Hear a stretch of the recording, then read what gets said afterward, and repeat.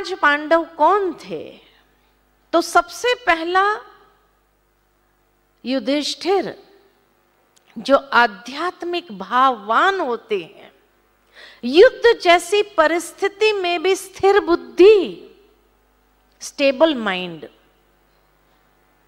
और आज की दुनिया में जहाँ वेवरिंग माइंड वाले लोग आप देखेंगे ज़्यादा ऐसी दुनिया में स्टेबल माइंड वाले कितने परसेंटेज लोग होते हैं?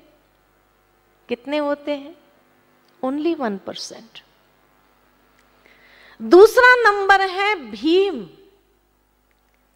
जो strong will power strong will power कुछ भी आ जाए, डरने वाला नहीं, निर्भय। आज की दुनिया में जहाँ लोगों का कॉन्फिडेंस लेवल खत्म हो रहा है। ऐसी दुनिया में स्ट्रांग विल पावर वाले कितने परसेंटेज लोग होंगे? ओनली वन परसेंट तीसरा नंबर है अर्जुन, जो अर्जित भाव रखता है, अर्जन करने वाला, ग्रहण करने वाला। अच्छी बातों को ग्रहण करना जानता है। पॉजिटिविटी को जो ग्रहण करता है। आज की दुनिया में जहाँ चारों ओर नेगेटिविटी ज़्यादा है, ऐसी दुनिया में पॉजिटिविटी को ग्रहण करने वाले कितने परसेंटेज लोग होंगे? ओनली वन परसेंट चौथा नंबर है नकुल। न इस कुल का, न उस कुल का। जो आज की दुनिया में भी हम देखते हैं।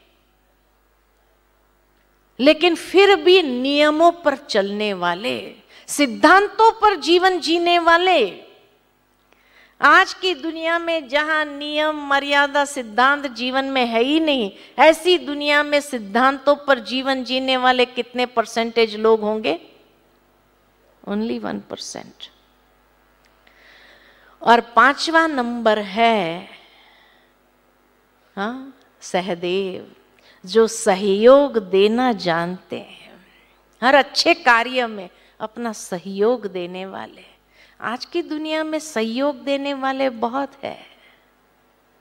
लेकिन सहयोग देने के बाद एक अपेक्षा रहती है, मेरा नेम प्लेट ज़रूर लगना चाहिए।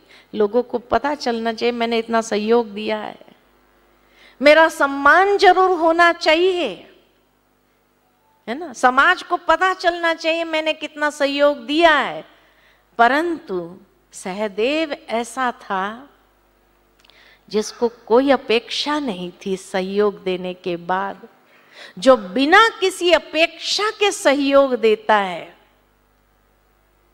ऐसे दुनिया में कितने परसेंटेज लोग होंगे?